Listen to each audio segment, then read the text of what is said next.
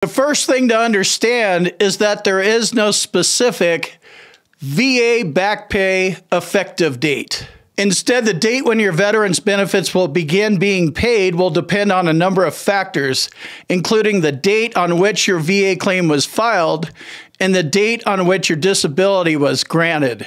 It comes down to those two dates, not necessarily the date of injury. The date your injury occurred in service is not necessarily going to be your effective date.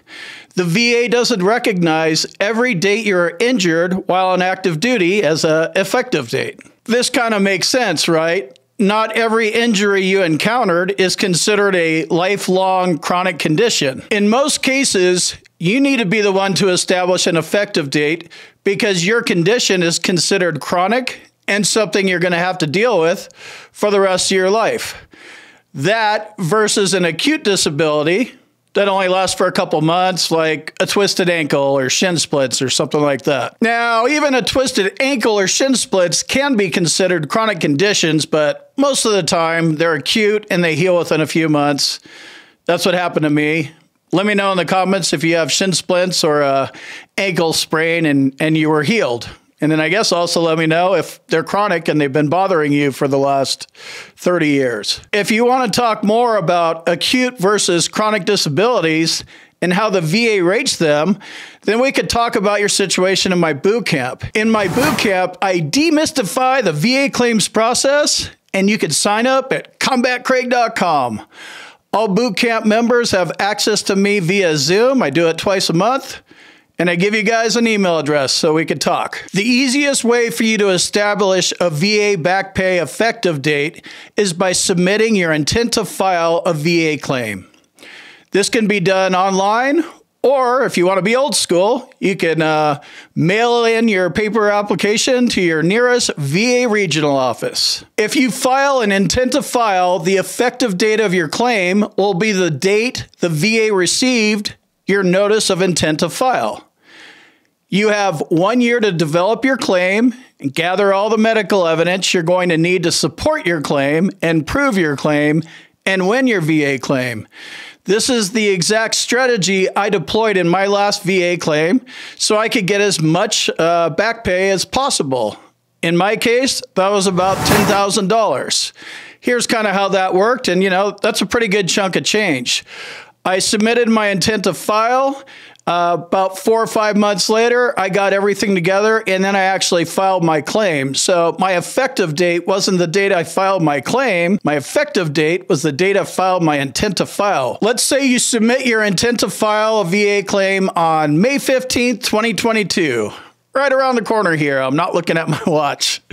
Uh, but it takes you until December 15th, 2022 to actually file your claim. Your VA back pay effective date will be May 15th, 2022, because you submitted your intent to file a VA claim way before you actually filed your VA claim. This is called preserving and establishing an effective date. If you get value out of the content that I produce, please consider subscribing to my channel so you're notified when I upload a new video. You might even want to give it a like. But if you don't like this video, or you don't like me and you definitely don't like my content, make sure you hit the dislike button twice. VA back pay effective dates can get real complicated real fast, and you might decide to challenge the VA for an earlier effective date. This happens a lot. They make a lot of mistakes. If this is the boat you're in, I would consider lawyering up and you might want to check out Hill and Ponton at hillandponton.com to see if they can help you with an early effective date. So, when might my VA back pay effective date be different than my intent to file, or if I don't do an intent to file? when I actually file my claim. Here's a couple differences. If you've had a recent separation from service, this is one case where it'll be different. If VA receives your benefit application within one year of your separation from service and later grants your claim, your effective date is the day you left service. This would be considered the one year presumptive period. And that moves us on to example number two here.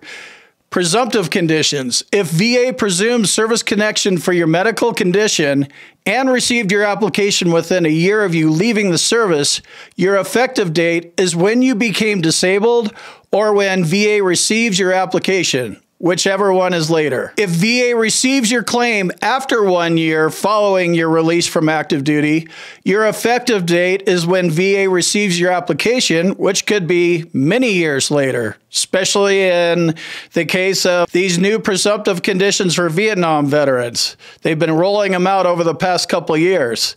So maybe one of your Agent Orange conditions didn't start bothering you until you know, 20 years ago. So you waited a while to file your claim. In this case, your effective date will be the date you filed your first claim for that presumptive condition.